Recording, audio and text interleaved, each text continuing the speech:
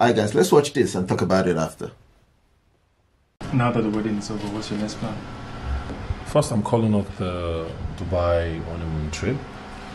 Thinking we could just, you know, do it in the country, at home.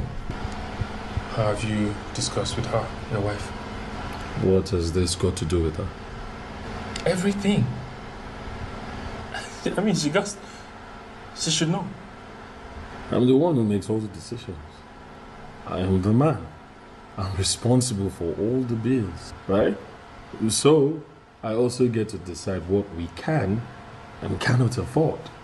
I understand you, children. But now you're a married man, and I think you should learn to use less of the I word and more of the we word. Hmm. She's your wife now. You should consult her on every decision, like this one. Is that what marriage is about to you? Partly, if not everything. That's why it's called partnership. So, in other words, she gets to know everything I plan. Yes. that was funny. Where are you going to all dressed up? Uh, I really have to rush to the office. Office. Yes, I've got to meet up with David and this um, um group of oil companies that um, I, I told you about that we're merging together to do a deal, remember?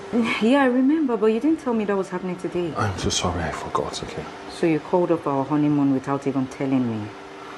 Hey, we can't lock ourselves in the house forever now, you know this. I know that, but you need to include me in your plans and decision making. Or you don't realize you're married now. These things are not that important, my darling. They are important to me. It gives me assurance that I have relevance in your life. Anyway, just sit. Let me get the rest of the food. Oh, no, no, I can't do that. I have to hurry. Okay, I'll microwave it for when you get back. All right, thank you. I have to hurry now. Come here. Mm, I'll see you soon, okay? You know, Tracy, my anger is not just that I'm pregnant. It is about what this pregnancy would lead to. I don't understand you. You will not understand, Tracy. You will not understand until what I'm saying starts to happen. I know what it is for somebody to go into something they're not ready for. I know what that does. I'm a career woman and I know what this mistake we have made is going to cost me. I need you to stop saying that, Amanda. It won't cost you anything. What can it possibly cost you to have your own child? And usually it's, it's the woman that will have to give up her job, give up her career to sit at home and, and take care of the baby. Alright, guys, let's talk about this. My first love. The big thing here boils on communication. As you can see, the guy was thinking that because he's the breadwinner that he shouldn't discuss issues with the wife. That's not correct. Communication is like a big deal with families. You know, it's always good to tell them about your plans, uh, especially if it's something that impacts her too.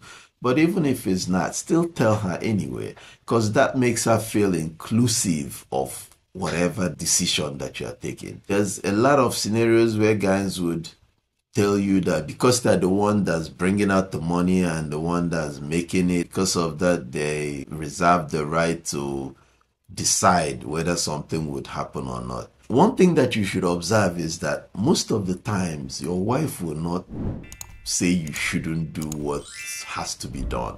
You know, when she sees that it has to do with the family, she's still gonna agree with you.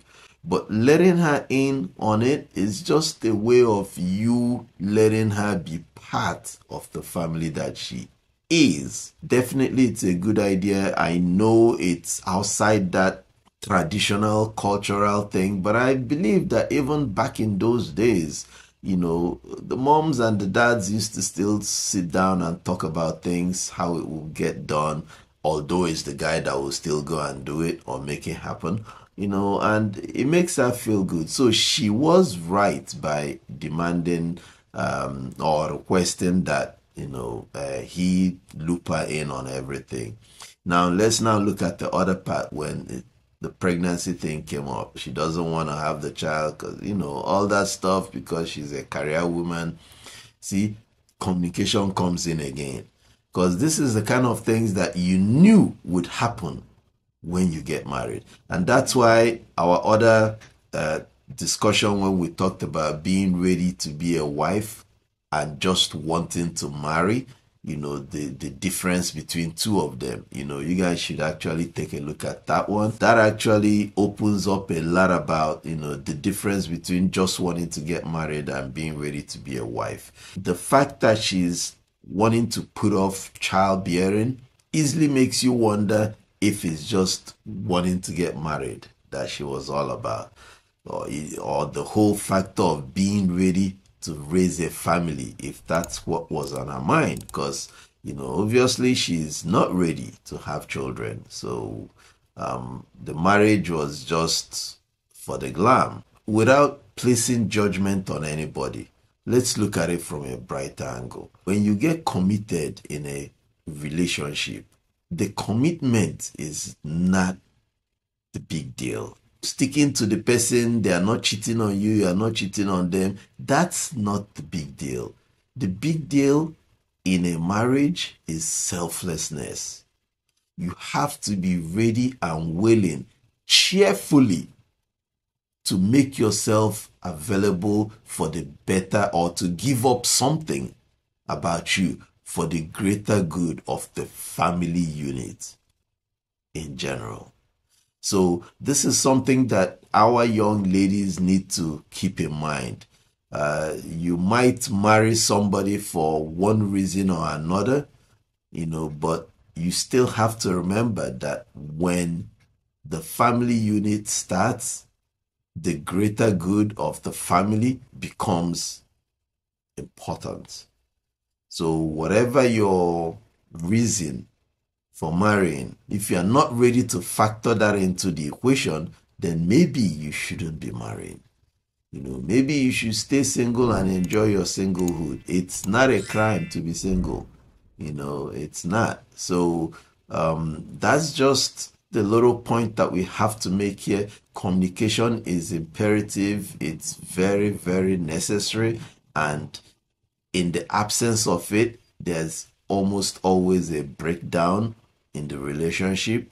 You know, people start mistrusting, people start believing. When I say communication is on both ways, so uh, don't expect one party to be the one that's doing the communicating and then you just sit and be listening, you know.